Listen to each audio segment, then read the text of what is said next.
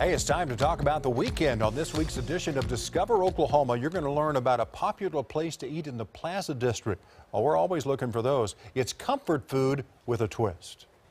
The Press is a unique restaurant right here in the heart of the Plaza District. If you're looking for them, they're not hard to find. Just look for the turquoise door. With its large open dining area and a menu full of choices, the Press has something for everybody. We wanted it to be uh, you know, spacious and family friendly and be able to, uh, to accommodate many different diets. The restaurant in the heart of the Plaza District prides itself on its strong Oklahoma roots. Serving food you'll find familiar, but with a unique twist.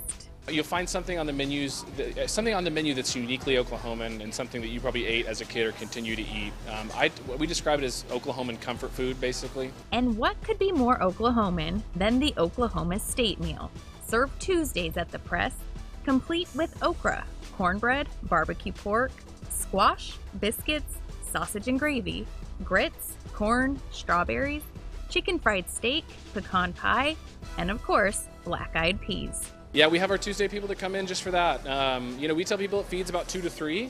Um, some people will come in with a group of 10 and get it as an appetizer and kind of snack on everything. Another top seller, the chicken fried ribeye. Wow, that looks good. That story plus an unexpected place to do some Christmas shopping on the next Discover Oklahoma. Also this weekend, tomorrow is the shortest day of the year. The Myriad Gardens is holding a winter solstice celebration because it's also the first day of winter. It's from 6 to 9 p.m. and includes music and entertainment. The cost is $6 for members and $8 for non-members. And don't forget about winter activities downtown, including, oh, that's fun right there, snow tubing at the Bricktown Ballpark. There are concession stands there as well. This costs $14 for a two-hour session every day except for Christmas. Man, that looks cool. You can watch Discover Oklahoma on Saturdays at 6.30 right after our evening newscast.